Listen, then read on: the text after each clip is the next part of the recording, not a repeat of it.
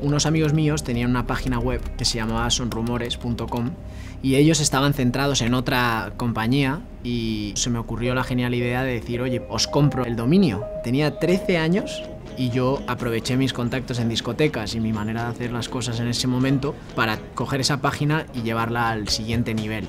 En ese momento teníamos el control de todos los colegios mayores, universidades, eh, hacíamos fotos y poníamos un foro para que la gente empezara a comentar. Y lo que pasa es que no había manera de hacer dinero. Y en ese momento se me ocurrió la idea de crear una marca de ropa.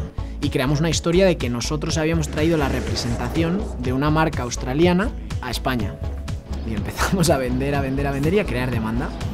Llegó un momento en el que la marca empezó a crecer, a crecer, a crecer y mi contable me dijo, tengo un cliente que es un tío que maneja millones y millones de euros. Deberías ir a verle. Y de ahí empezamos a producir allí. Y al final pues la producción se empezó a convertir mucho más grande y empieza el estrés. Y entonces tuve que tomar la decisión de vender la empresa a este socio. Y entre medias de todo esto, yo estaba haciendo la carrera de derecho.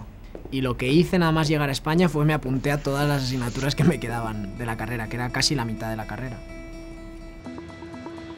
Mi sueño de siempre era irme a Estados Unidos y hacer un MBA. Y la única universidad que me contestó fue Baruch College aquí en Nueva York. Y entré en la universidad y empecé el fondo de inversión.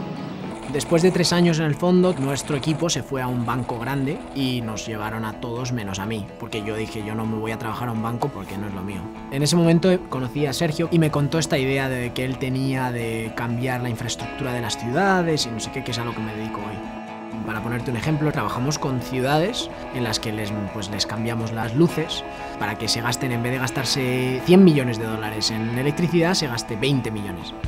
Uno de los valores que yo aprecio más de mí es que yo soy mi mayor propiedad. Es decir, que sé que puedo sacar adelante cualquier obstáculo, porque lo he hecho.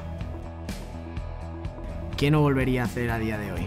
Pues en primer lugar, no volvería a involucrar a mis padres en todas mis historias porque no creo que sea justo para los padres. Corre tus propios riesgos, arriesgate como emprendedor, pero no involucres a las personas alrededor tuyo porque no es justo para ellos.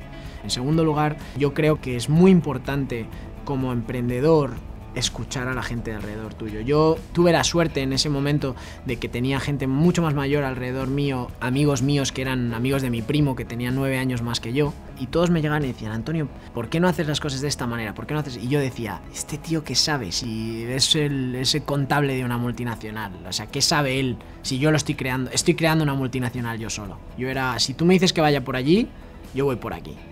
Y voy por aquí y te voy a demostrar que tú te has equivocado. Y ojalá hubiera escuchado más en ese momento. O sea, fracasar ha sido la manera en la que he aprendido.